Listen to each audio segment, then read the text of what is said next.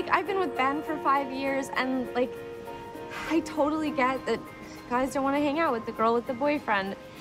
But it just sucks, you know? It just, like, makes you feel like the only thing that's interesting about you is how you look with your clothes off.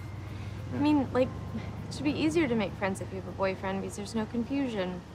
Uh, so is that it? That's your big pitch to be my friend? Um. That was terrible. Yeah, I know. I know. I'm just, I, I practice in the mirror and Anyway, friends. yeah, why not? All right. Friends. Is this always how you make friends? Like it's a business deal? Yeah, actually, it's mm. just my style. Okay, it's quite unnerving, but it's good.